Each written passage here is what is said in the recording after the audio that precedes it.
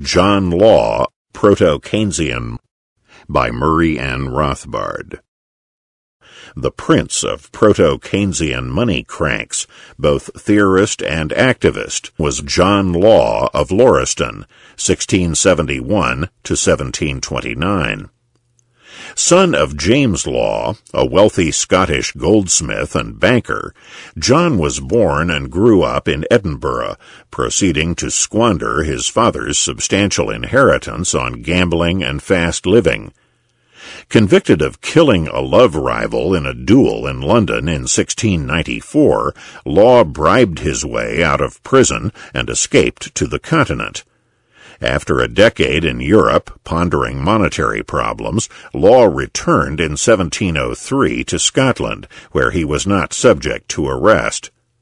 There, Law concentrated on developing and publishing his monetary theory cum scheme, which he presented to the Scottish Parliament in 1705, publishing the memorandum the same year in his famous or infamous tract, Money and Trade Considered, with a proposal for supplying the nation with money. Edinburgh, 1705. The Scottish Parliament considered but turned down his scheme. The following year, the advent of the union of Scotland with England forced Law to flee to the continent once more, since he was still wanted by English law under the old murder charge. Karl Marx, in a sense, should have been proud of the way John Law unified theory and practice in his proposal.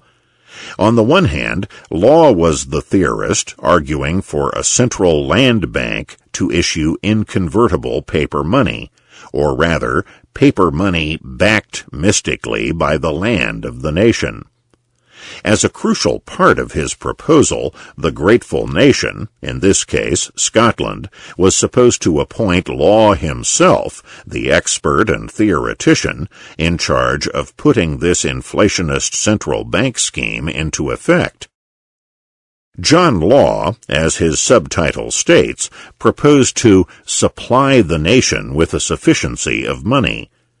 The increased money was supposed to vivify trade, increase employment and production, the employment motif providing a nice proto-Keynesian touch.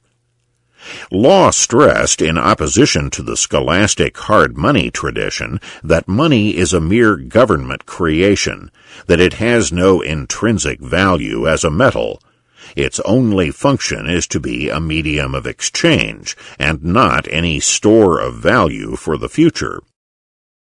Even more than William Potter, John Law assured the nation that the increased money supply and bank credit would not raise prices, especially under Law's own wise aegis. On the contrary, Law anticipated Irving Fisher and the monetarists by assuring that his paper money inflation would lead to stability of value, presumably stability of the price of labor or the purchasing power of money.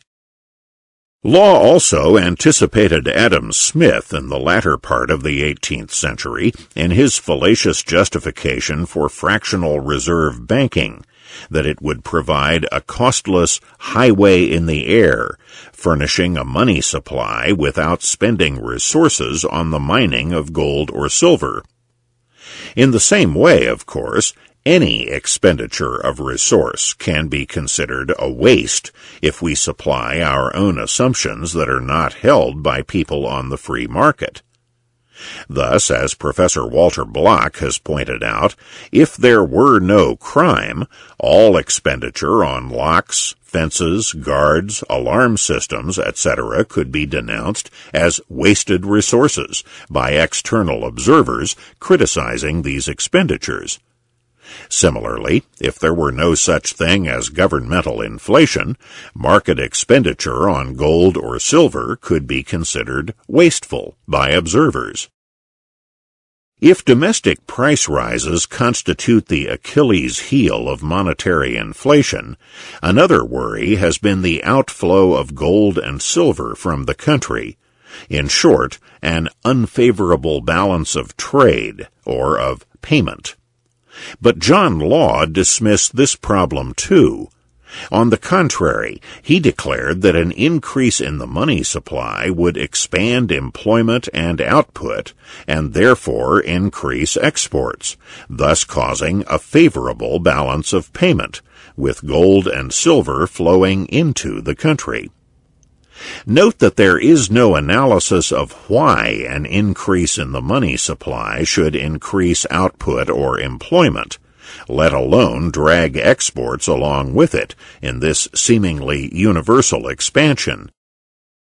Interestingly enough, one of Law's talking points about the need for more money was, as in the case of low interest, based on a striking misinterpretation of the reasons for the prosperity of the Dutch, whom all other nations envied in the seventeenth century. We have seen that everyone saw that the Dutch had low interest rates, leading English mercantilists to put the cart before the horse and attribute Dutch prosperity to low interest rates, instead of realizing that high savings and higher standards of living had brought about these low interest rates. Hence, the mercantilists suggested that England force the maximum usury rate still lower. Similarly, John Law saw that prosperous Holland enjoyed a plenty of metallic money. He attributed the prosperity to the abundance of money, and proposed to supply paper money instead. Again, he overlooked the point that it was Dutch property and high production and export that brought a plenitude of coin into the country. The export surplus and abundant coin was a reflection of Dutch prosperity, not its cause.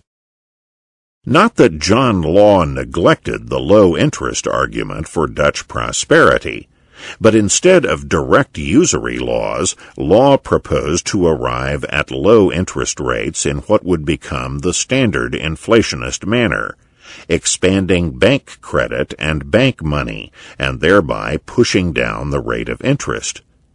Indeed, Law worked out a proto-Keynesian mechanism. Increasing the quantity of money would lower interest rates, thereby expanding investment and capital accumulation and assuring general prosperity. To Law, as to Potter before him and Keynes after him, the main enemy of his scheme was the menace of hoarding, a practice which would defeat the purpose of greater spending. Instead, lower spending would diminish trade and create unemployment.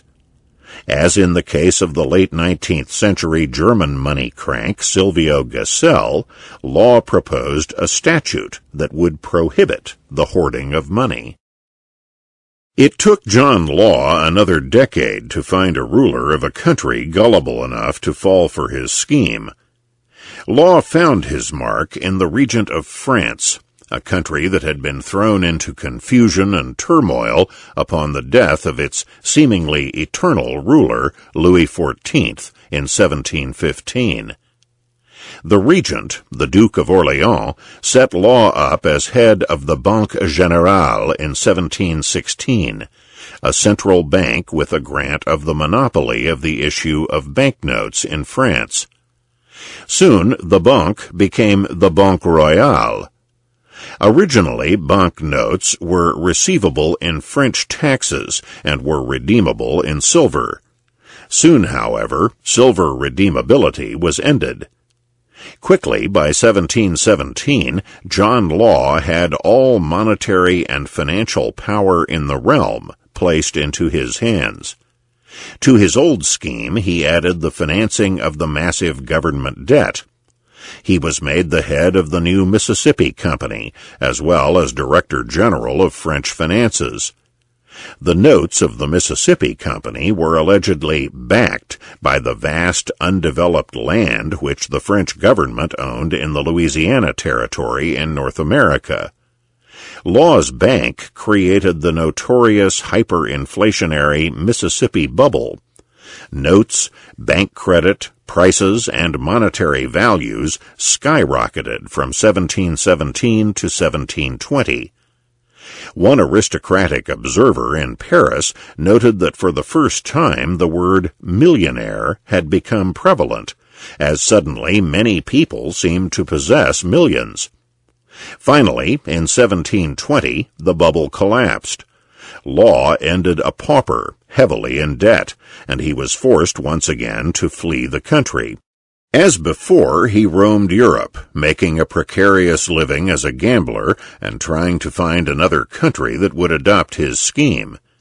He died in 1729 in Naples, trying to persuade the Neapolitan government to make him its inflationary central banker. The cataclysm of John Law's experiment and his Mississippi bubble provided a warning lesson to all reflective writers and theorists on money throughout the 18th century.